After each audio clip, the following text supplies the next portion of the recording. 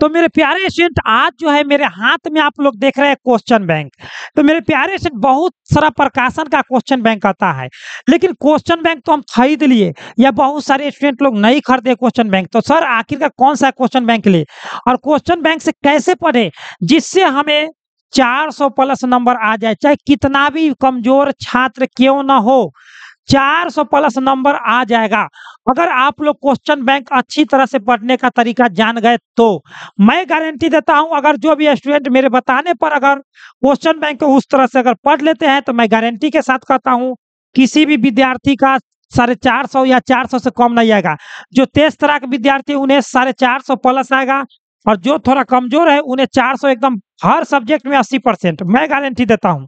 हर subject में अस्सी percent आएगा। कैसे आएगा वो गारंटी मैं बताता हूँ। आप लोगों का क्वेश्चन है कि क्वेश्चन बैंक से कैसे तैयारी करें, जो 400 प्लस नंबर आए। तो चलिए मेरे प्यारे स्टूडेंट आज जो है ये क्वेश्चन बैंक के बारे में मैं बताने जा रहा हूँ। ठीक है ना? और क्वेश्चन में मैं बताऊँगा क्वेश्चन बैंक कौन सा लेना चाहिए। सबसे पहले नंबर बात, आप लोगों को क्वेश्चन बैंक में 2009 से लेकर के 2024 तक आप लोगों को क्वेश्चन रहेगा। जिसमें आप लोग देख सकते हैं कि लगभग आप लोगों को नौ व एक, दस हो गया आप लोगों को, है ना? और इधर हो गया आप लोगों को चौदह साल, यानी कि दस से चौदह, यानी कि लगभग पंद्रह साल का आप लोगों के पास क्वेश्चन रहेगा। कितने साल का? पंद्रह साल का क्वेश्चन रहेगा आप लोगों के पास। कितने साल का क्वेश्चन पंद्रह साल का। इसमें से आप लोगों को क्या करना है? पर डे एक सेट है ना? पंद्रह दिनों में हर विषय का एक एक सेट पंद्रह दिनों में मार लेना है। और सभी को एकदम याद कर लेना है, ठीक है ना? याद कर लेना है। याद कर लेना है, उसके बाद मैं बताता हूँ कैसे याद करना है, ठीक है ना? याद कर लेना है, लेकिन कैसे याद करना है? कैसे याद करना है? वो तरीका जान लीजिए।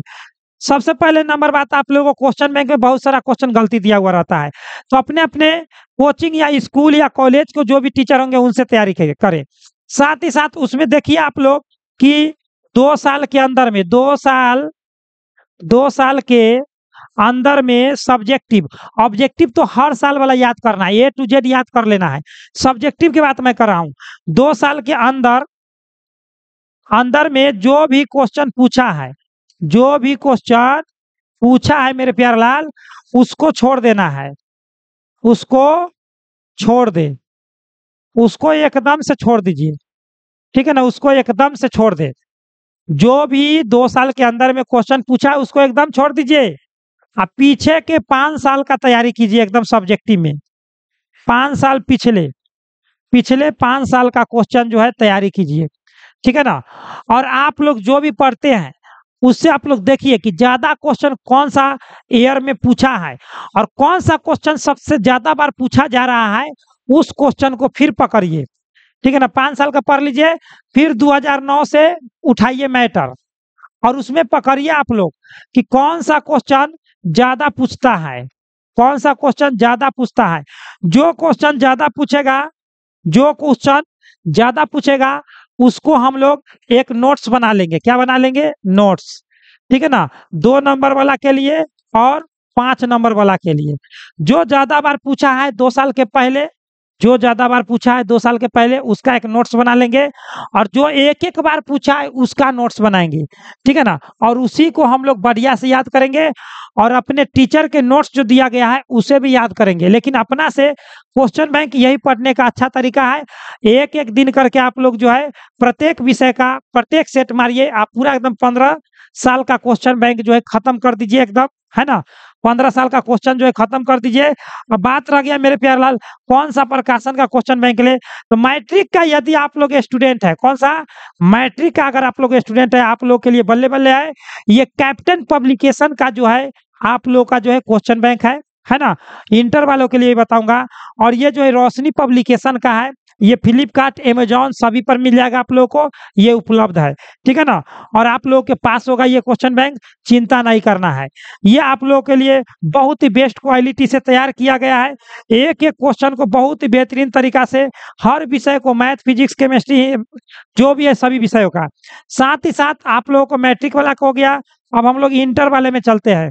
इंटर वाले जितने भी स्टूडेंट हैं, आप लोग क्वेश्चन बैंक पढ़ते हैं या नहीं पढ़ते? हैं अगर आप लोग 2025 में चाहते हैं कि 400 प्लस नंबर मुझे सर आ जाए, ठीक है ना? और जो तेज तरह के स्टूडेंट है, वो साढ़े चार सौ प्लस तो क्या पढ़े? तो मैं आप लोग के लिए हर सब्जेक्ट का जो है ना, सौ क्वेश्चन दो नंबर वाला और बीस क्वेश्चन जो है, पाँच नंबर वाला तैयार किया हूँ, जिससे आप लोग को एक भी क्वेश्चन इधर उधर नहीं होने जा रहा है।